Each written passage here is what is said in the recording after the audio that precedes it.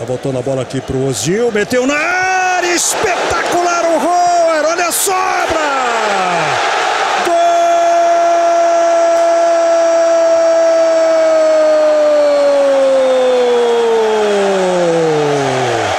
É do segundo tempo. Na primeira, o goleiro fez uma defesa extraordinária, hein?